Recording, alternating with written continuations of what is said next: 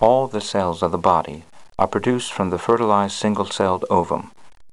Although all the cells carry the same genetic information, different genes operate to produce each of the three cell types ectoderm, mesoderm, and endoderm, of which the entire human body is composed.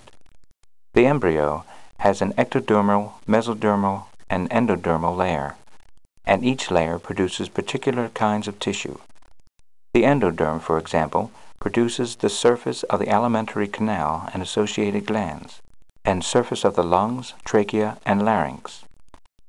The mesoderm produces tissue specific to the bone, cartilage, muscle, the lining of blood vessels, and the lining of the ureters. Ectoderm produces tissue for the brain, nerves, epidermis, hair, nails, the lining of the nose and anus, and the sensory organs.